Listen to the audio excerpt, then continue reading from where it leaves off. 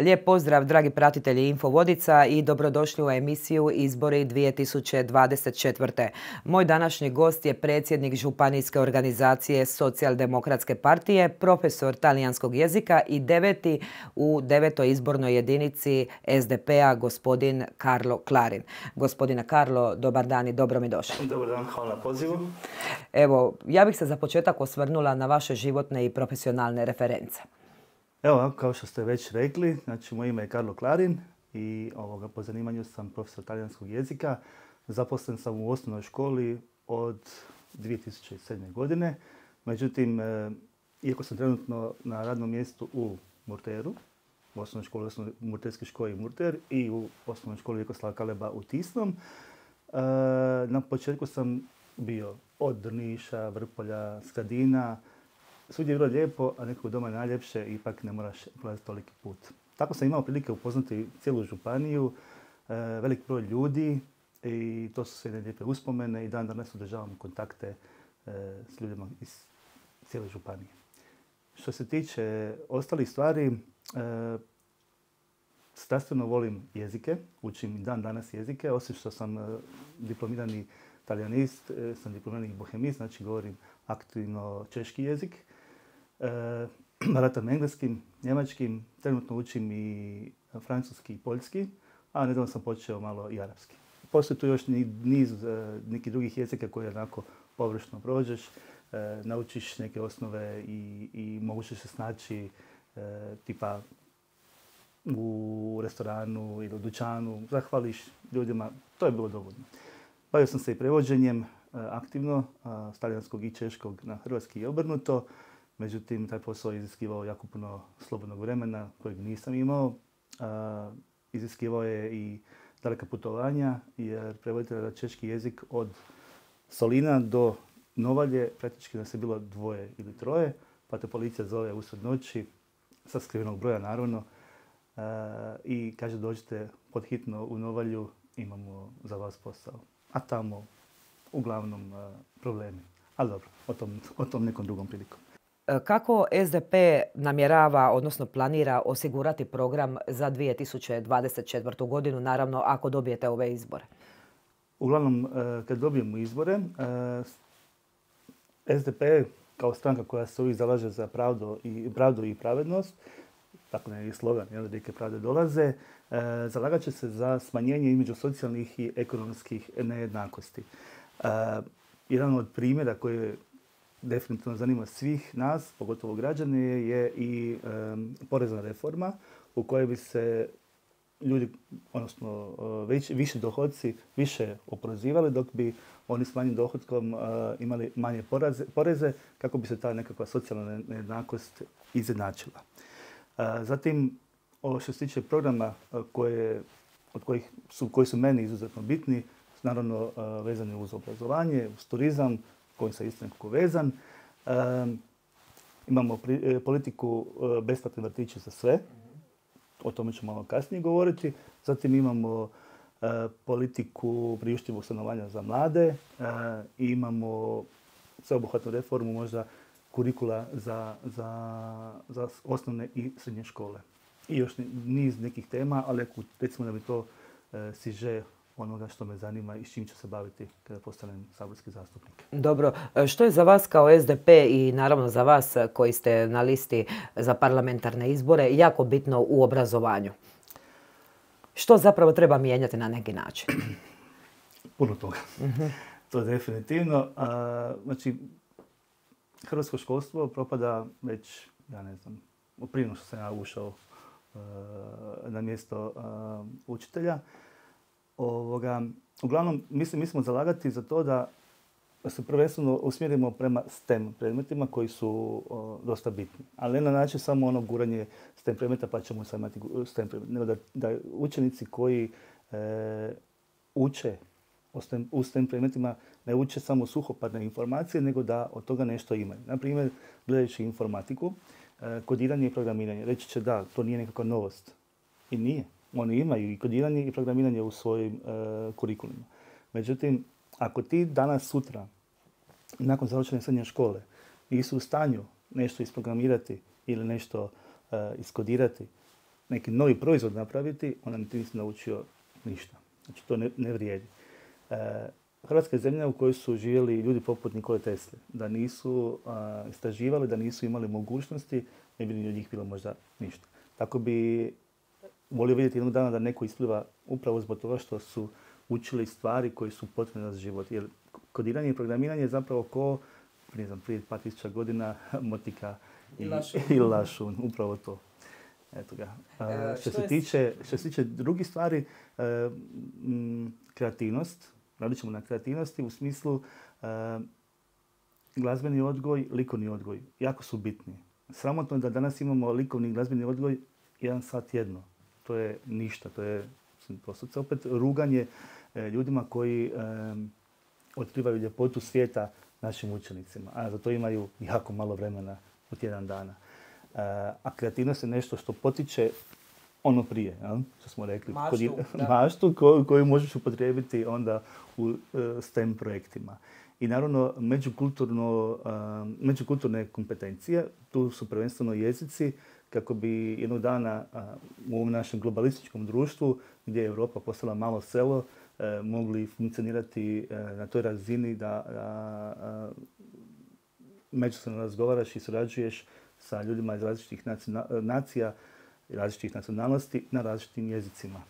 Mislim, mi smo, što se tiče toga, kao jezičari, smatram da smo kao e, narod daleko ispred nekih drugih. Znači, naše jezične kompetencije su puno, puno bolje nego recimo nekih učenika u Srednjoj Europi, ali svejedno mislim da, da treba ići dalje. Mhm. dalje. Kako biste vi cjelokupnu infrastrukturu škola promijenili? I naravno taj cjelokupni kurikulum koji je jako bitan za svaki nastavni predmet. Da, e, ponovit ću opet slične stvari. Znači u predmetima u kojima smo, u kojima smo malo prije koje sam malo prije spomenuo, znači isti predmeti i likovni, glazbeni, pa i tjelesni, jer šport je izuzetno bitan za razvoj. Znamo da smo među e, e, debljim nacijama u Europi, što izuzetno je loše. Nije dovoljno da bi učenici samo naučili nešto iz udžbenika. Danas je toliko tehnologije. Kad kažemo tehnologija, ne mislimo samo na mobitel. I mobitel u školi možda nije mjesto, iako je i on dio tehnologije i može se putem njega nešto naučiti. Samo što današnja djeca, na primjer, ne znaju kad se smije, kad se ne smije koristiti mobitel jer su postali o njemu ovisni. Ali toliko je druge tehnologije koje, koju možemo iskoristiti u nastavi, pogotovo za likovni, za glazbeni, Možete li dati nekakve primjere koje i vi na koncu koristite i u svom radu, koliko ja znam? Dobro, mislim, ja, ja sam jezičar, ja koristim tehnologiju koliko mogu.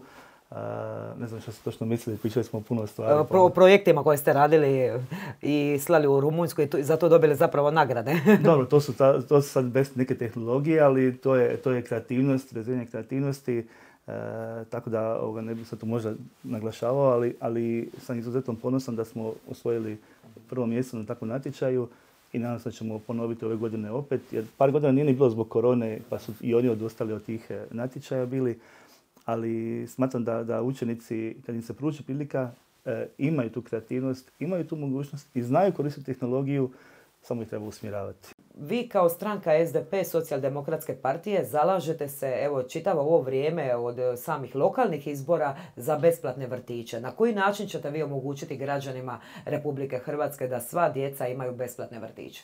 E, jako dobro pitanje. Puno, puno ljudi me pitalo kao, kako to mislite uopće besplatni vrtići? Prvenstveno, napomenemo, vrtići e, ni sada nisu besplatni, ali nisu ni u punoj cijeni svaka jedinica lokalne samouprave, općina, grad, ovisno koji je osnivač, e, participira u određenom svotom do punog iznosa. A ostatak plaćaju roditelji. Recimo da je, ne znam, 50-50% ili 60-40%, nije ni bitno.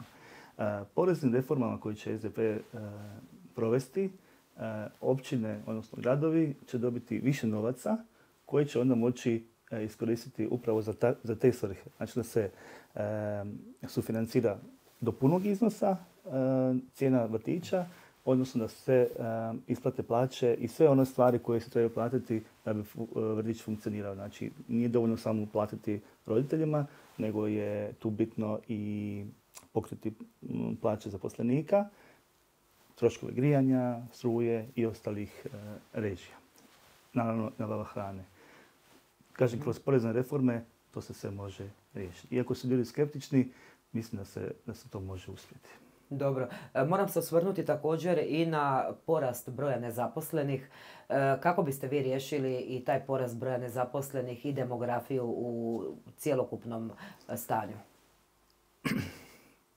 To je malo teže pitanje, recimo, ali uh, mislimo na mlade ili općenito na nezaposlene? Na, I na mlade i na nezaposlene, znači na sve one ljude koji nemaju posao, uh, nemaju, ajmo reći na jedan način, uh, svoje prebivalište, odnosno boravište i kojima je zapravo jako teško funkcionirati u ovoj državi jer moraju biti na neki način, moraju plaćati određeni smještaj na mjesečnoj razini. Zato SDP ima politiku priuštivog stanovanja, mhm. jer obzirom na rast turizma, e, došli smo do toga da ljudi ne, mogu iznajmiti stan po nekakvoj normalnoj cijeni. E, ispada, da je jeftinije e, imati ratu kredita za trosoban stan, ne znam, 40 godina, nego da plaćaš mjesečno najam jer su cijene otišle u nebo. Da. Što se tiče toga, ovako, mislim, svima je poznato da mi uvozimo radnu snagu iz Nepala, iz Indije, od svakud uglavnom u turističkom sektoru, odnosno u ugostiteljskom sektoru, jer nedostaje. E sad, jesu li mladi nezaposleni jer ne žele raditi u takvom sektoru ili su, ili su nezaposleni jer nema dovoljno posla? Mislim da tu um, griješimo svi skupa i da će naša stranka kad dođe na vlast morati ozbiljno popričati sa svim onim koji pružaju usluge školstva, odnosno obrazovne institucije, od srednjih škola, fakulteta i e, poslodavaca, odnosno firmi, da se tu uskladi e, ta nekakva potreba za e, tržište rada ima određene potrebe. Ne može škole, škole proizvoditi e, neko zanimanje do beskonačno. do beskonačno, a njima to ne treba. zatim, te firme bi trebale biti nekako u suradnji sa tim institucijama i provesti praksu. To zvuči blesavo jer djeca idu na praksu. Neko će reći, kako to veze ima, oni već idu na praksu. Mhm. Je. Ali, obratite pozornost na uh, učenike koji, koji, koji idu u srednju školu za deficitarna zanimanja. Idu na praksu. 99% tih učenika ostane u toj firmi, ukoliko se naravno pokažu uh, sposobni za taj posao. 99% njih ostaje. Ali, uh, recimo ekonomisti ili neke druge firme, kad prima na praksu, uglavnom se radi o potpisu i doviđenja ili ako su učenici na praksi, skuhaju kavu šefu i to je to. Takvi učenici nisu što naučili, niti mogu što naučiti. I kad završe školu, nisu spremni za posao. I tu, tu griješimo.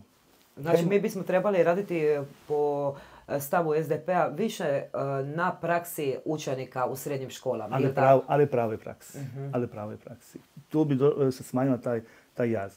Toga kaže meni neko, uh, učenici ono, završe srednju školu ili ne znam, fakultet, on može biti direktori. Mislim da je to pitanje da nešto drugo, da to uopće nema veze sa strankama ni s politikom, mislim da je to do odgoja, ali uh, u svakom slučaju kad bi oni radili e, naporno vrijedno, da bi to ipak uh, se malo promijenilo. Imam iskustva, sad vidim tu Marinu pa sam se sjetio, moja praksa. Mhm. Nažalost je isto bila tako nekako ono, E, donesi kavu, skuhaj kavu, vamo namo, ali ja sam imao praksu drugi srednje u Aci Marini jezera, 5.8.1995. A svi znamo koji je to datum, što se dešavalo. U Marini nije bilo nikoga, ali doslovce nikoga osim e, nas dvoje praktikanata i gospođa iz računovodstva, znači nas troje. Što mislite, je li bilo uplova? ne znam, vjerojatno je. da, bilo je uplovljavanja brodova, ljudi su stizali u marinu i to turisti. Mhm na oluju. Bombe pucaju, uh, mislim, padaju okolo, čuje se sve. Mislim, ok, relativno smo sigurni, znali smo da to naši napreduju naprijed i da, da nema straha, ali svejedno ovaj, nevolja ne osjeća. Oni stižu. Uglavnom, mi smo taj jedan dan, ta tri broda što smo obradili, znači od doslovca primanja, od uh,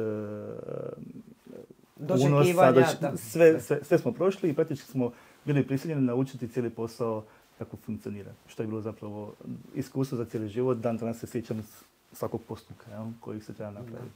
E, idemo se također osvrnuti na viziju SDP-a za održivi razvoj turizma. Na koji način biste e, vi, odnosno na koji način ćete raditi na tome? E, ovako. I što je zapravo za vas, što za vas zapravo znači taj održivi razvoj turizma? Održivi razvoj turizma je, mislim, to je kompleksan pojam, mogli bismo sad to pričati o njemu, ne znam, danima. Održivi razvoj u kratkim crtama, za što se tiče našeg turizma, je da prestanemo biti Španjolska, da prestanemo biti e, mjesto za apartmanizaciju, betonizaciju obale, da to jednostavno više nema smisla. Mhm. I moramo početi valorizirati e, one prirodne ljepote, prirodnu baštinu koju imamo i iz nje crpiti e, zapravo nešto što, što će donijeti porast broja turista, rast gospodarstva, rast turizma općenito, jer nažalost Hrvatska je takva zemlja da, da ovisimo jako puno o turizmu ako budemo sve betonirali, ništa od toga neće ostati. Znači, idemo u cilju da svi turistički kapaciteti, od hotela do malih smještenih ovih obiteljskih smještaja, preuzmu tu neku naviku održivosti. Odnosno da koriste materijale koji su održivi, reciklažni, da se vodi briga o energiji, odnosno se koristi što više obnovljive energije, da se bolje upravlja otpadom, kako ne bi dolazilo do zagušenja smećem usred sezone i sličnim stvarima. Hrvatska ima potencijal. Ako gledamo susjednu Italiju, ja kad često putujem u Italiju, obišao sam je skoro cijelu, uh, oni, ne znam, jesu oni eh, jednostavno imaju puštene ruke pa onda mogu raditi što hoće, ali oni su uspjeli niz čega stvoriti svašta. Ok, imaju oni kulturne baštine, na tisuće. Mhm. Ali kod njih je svako malo mjesto nekako brendirano s nečim. Čak i kad nema ničega. Što bi se moglo u našoj županiji brendirati po vašem mišljenju? Ajmo ovako postaviti e. stvar. U našoj županiji imamo izuzetno veliki broj, izuzetno veliki broj prirodnih ljepota mhm. I ako bismo gledali kroz održivi razvoj, jedna biciklističke staze i pješačke staze, to već postoji, to nije neka novost ali biciklističke staze ili pješačke staze koje će povezivati e, određene, ne određene, nego sve glavne turističke atrakcije. Također ću se okrenuti na ono što je najbitnije svim našim građanima Republike Hrvatske, a to je korupcija u pravosuđu. Kako vi to komentirate, čitavu tu korupciju i što napraviti da se ta korupcija napokon spriječi? Čitao sam neki dan a, ovoga, status jednog našeg sugrađanina koji dosta često putuje isto po Europi. u jednoj skandinavskoj zemlji išao mijenjati novce, eure, u krune. Tražili su osobnu. Kad su vidjeli da je iz Hrvatske, rekli su da mora za sav novac koji mijenja u njihovoj zemlji u gotovini priložiti dokaz o podrijetlu imovine, odnosno o podrijetlu tih novaca. Naravno da on to u tom trenutku nije imao jer nije očekivao da će mu to trebati. Pitao on zašto mu to treba. Zato što je Hrvatska visoko na listi korumpiranih zemalja. Što se tiče Europske unije, samo su četiri zemlje iza nas, kratko iza Mađarska, Grčka, Bugarska i Rumunjska. Što govori o tome da je nekako ovaj, ovaj dio uh kontinenta e, najkoruptivniji. Sama činjenica da je u Hrvatskoj izabran gospodin Ivan Turudić na, na mjesto na koje je izabran, govori sve. SDP kad dođe na vlast,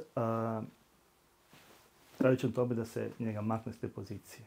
Radit će se na tome da se e, donese zakon koji će e, bolje provoditi, e, kako ću reći to, politiku. politiku. politiku politiku koju, koju zagovaramo, odnosno ono što bismo trebali napraviti, trebali bismo uvesti kompletnu transparentnost ne samo javnih proračuna kao što sad radi gradovi i općine, nego bismo trebali uvesti i transparentnost javnih službenika, uh transparentnost svih političara, znači sve što se potrošilo na koga i kroz što. Na koje načine. Na koje načine, za, što, za sve, svaki, svaki novac možda mora biti vidljiv kroz nešto. I ono što ćemo također napraviti, to je poticat ćemo aktivno građanstvo. A kad kažem aktivno građanstvo, mislim na to da građani aktivno sudjeluju u tome da nadziru vlast. Kako će to raditi? Preko javnih rasprava, rasprava sad ćemo, sad ćemo online, kako već? O, sad ću vam objasniti. E, Kaže nikako pa da, ali ljudi već imaju kao praktički upliv na vlast, jer svakih četiri godine biraju novu vlast i izlaskom na izbore možeš e, biti korektiv vlasti i smijeniti. Mhm. Naravno. Ali ovdje se radi o tome da ljudi će putem online platforme moći ukazivati na određene nepravilnosti, određene nepravilnosti i prijavljivati korupciju. A za to neće biti kažnjeni, kao što e, novi zakon koji je ova vlada donijela predviđa. Odnosno, zviždači mogu biti predmetom kaznenog progona. Kad mi donesemo zakon, to neće više biti slučaj i zviždači će biti zaštićeni. Hoćete li vi kao SDP možda ako dobijete vlast i bude vam falilo, hvala Bogu, ovaj, odnosno ne daj Bože mandata, koalirati e, sa strankom Fokus i Republika? Sa strankom Fokus i Republika? Mhm. Jer u Republici, koliko ja znam, su zviždači, evo pa zato pitam. da, ovoga, ovako, mislim, ja osobno ne mogu o tome e, preći odlučivati, ću odlučivati predsjedništvo u kojem ja sudjelujem i sam predsjednik stranke Peđa Grbin. Prepostavljam da što se tiče stranke Fokus e, i Republike neće, ne bi trebalo biti nekakvih problema. hoće li oni dobiti nekoliko mandata, da ili ne, to, to, ćemo tek vidjeti. E, i vidjet ćemo koliko će nam trebati, ali ja se nadam da neće dati ništa, da ćemo dobiti e, i bez toga. Tako da neće biti potreba za koalicijom. Ali svi oni koji su e, bliski politikama SDP-a su dobrodošli da se s njima surađuje ne vidim to nikakav problem. Gospodine Klarin, možete li za kraj naše emisije poručiti nešto svim građanima Republike Hrvatske koji izlaze na glasovanje za dva tjedna? Evo ovako, 17.4. E, na izborima izađete, zaokružite listu broj 16, e, naravno uz moje ime i broj 9. E, mi smo ti koji nude promjene, mi smo ti koji nude pravdu, pravednost za ovo društvo. Vidimo se. Gospodine Karlo, hvala lijepa na emisiji. Hvala vama. Sve znate. Znate i da Hrvatska treba promjenu. Znate i da moramo zaustaviti korupciju. Znate i da se moramo boriti za pravdu i više novca u vašim džepovima. Borimo se za vaše dostojanstvo, da svaki građanin Hrvatske može živjeti u svojoj kući ili svome stanu. To ne smije biti luksus. I borimo se da nitko ne mora otići iz ove prelijepe zemlje. Izađite na izbore. Rijeke pravde!